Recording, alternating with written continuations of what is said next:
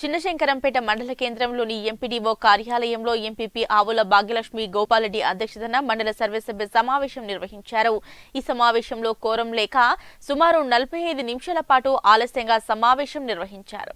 ఈ సందర్భంగా సర్పంచ్ పూలపల్లి యాదగిరి యాదవ్ మాట్లాడుతూ పల్లె ప్రగతి కార్యక్రమంలో భాగంగా గ్రామాల్లో జేసీపీ ద్వారా పనులు నిర్వహిస్తే సంగారెడ్డి సిద్దిపేట జిల్లాలకు గంటకు పన్నెండు వందల రూపాయలు చెల్లించారని అదే మెదక్ జిల్లాకు వచ్చే వరకు గంటకు ఎనిమిది వందల రూపాయలు చెల్లించడం ఎంతవరకు సమంజసమని ఆయన అధికారులను ప్రశ్నించారు. ప్రభుత్వ ఆదేశాల మేరకు అప్పులు చేసి మరో పనులు చేస్తే ధరల్లో హెచ్చుతగ్గులు ఉండటం వల్ల చాలా నష్టపోవాల్సి వస్తుందని అదేవిధంగా ధరలతో పాటు పనిచేసిన సమయంలో కూడా కోత విధించడాన్ని చూస్తే మా పరిస్థితి ఏంటని ఆయన ఆవేదన వ్యక్తం చేశారు.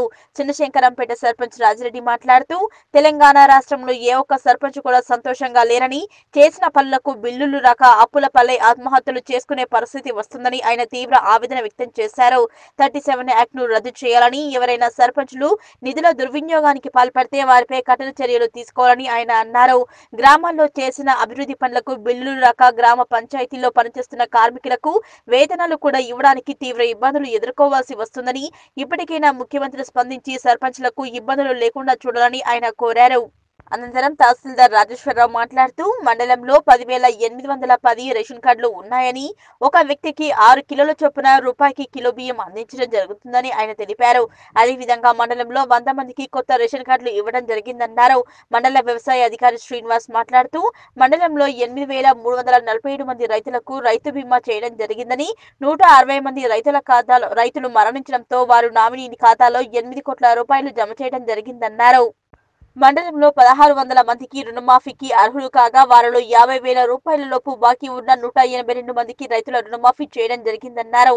ఈ కార్యక్రమంలో ఎంపీపీ ఆవుల భాగ్యలక్ష్మి గోపాలరెడ్డి తహసీల్దార్ రాజేశ్వరరావు ఎంపీడీఓ గణేష్ రెడ్డి వైద్యాధికారి Shravani వ్యవసాయాధికారి Srinivas RWS AE Nikhila anganwadi supervisor Vindhyavahini Panchayati Raj AE Vijay కుమార్తో పాటు వివిధ గ్రామాల సర్పంచ్లు ఎంపీటీసీలు వివిధ శాఖల అధికారులు పాల్గొన్నారు.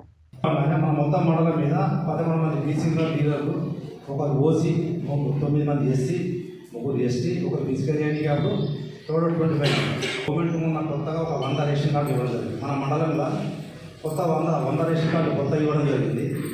ఆ కొత్త ఇల్లు ఇదివరకు ఉన్న కార్డు కలిస్తే పదివేల ఎనిమిది వందల ఎనిమిది కార్డులు ఉంది ఈ కార్డుకి ఆరు కార్డుకి ఒక రూపాయి కార్డు బియ్యం ఇవ్వడం జరుగుతుంది కాబట్టి ప్రతి నెల మీకు ఇష్టం వచ్చిన షాపులలో పోయి కంట్రోల్ యజమాని కావాలి కార్డు ఓనర్ కానీ లేదా కార్డు సభ్యులు కానీ వెళ్ళి ఏ షాపులో తెలంగాణ స్టేట్ మొత్తంలో ఏ షాపులో ఉన్నా కూడా బియ్యం తీసుకునే అవకాశం తెలంగాణ గవర్నమెంట్ అనౌన్స్ చేసింది కాబట్టి గత సమావేశంలో తెలియవలసింది జరిగింది.